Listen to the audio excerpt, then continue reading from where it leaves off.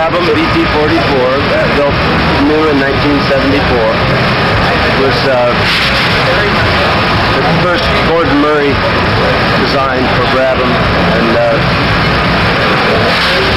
certainly still his favorite, and, certainly my favorite. Um, they were uh, quite successful. Carlos Reutemann and Carlos Pace both. Uh, Pace was Brazilian, and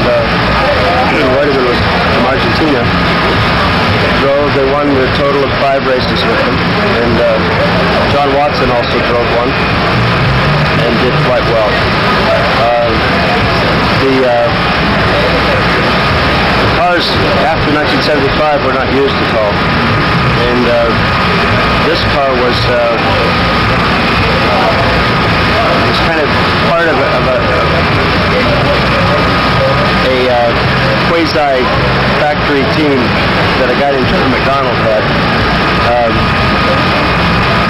I think he was probably expected to give the car back to, to Brabham at the end of the year. Um, for whatever reason, that didn't happen. But all the other Brabhams have been destroyed, and so there are no. And um, Bernie Ecclestone, the owner at that time, kept one of each car, but there are no other Brabhams. And this one sort of stuck out the back door and survived. And I bought it in 1986. Uh, there was an ad in, in Autosport, and uh, I was the only one going through the ad.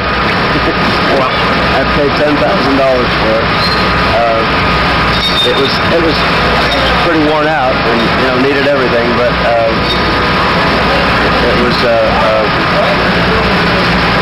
you know just the right time because there was nothing to do with these cars at that time, and uh, you know now we in the following years there have been a lot of places to run cars.